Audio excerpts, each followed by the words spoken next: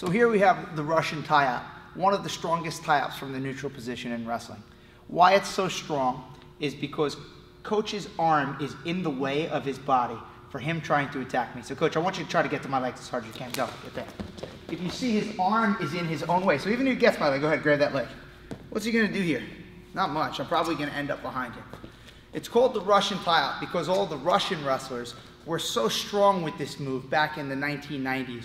They were very dominant in world level competition, and every single one of their wrestlers would start working and immediately move to this against all their, their opponents. And it's very strong.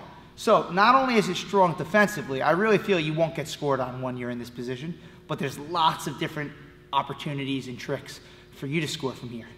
So first thing we're gonna, we're gonna notice is that there's two potential ways we could hold the wrist. They're both strong. I could hold it like this, which is the more traditional, or I could hold it overhand, which is a little different but has options as well. And there's also two places for my head position.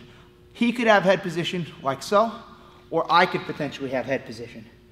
It's probably better if I have head position, but it's not very realistic because any good wrestler is not just going to let me come in here. What are you going to do once I'm here, coach? You're going to take head position on me, right?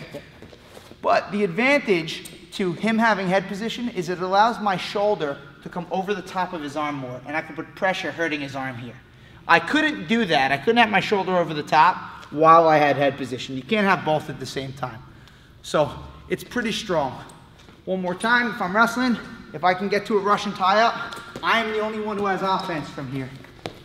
If you can figure out a way to wrestle the entire match from positions where you can't get scored on, but you can score on him, if you can find those advantage positions, you're never going to lose. And the Russian tie-up is an excellent advantage position.